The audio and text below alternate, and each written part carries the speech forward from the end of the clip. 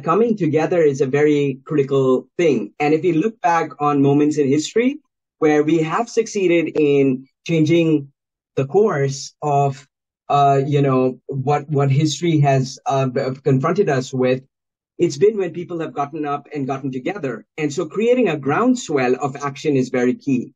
But in that action, I think, especially today, uh, but uh, always, um, you know, education is very key and understanding the science of climate change and therefore the solutions uh, and the leadership that can be built at the local level in facilitating that change and therefore community involvement is essential to uh, the sustainable development that we talk about, the human progress that we talk about, and ultimately human security. Because um, unless we have an approach which is embracing of all, we're not we're not going to get there.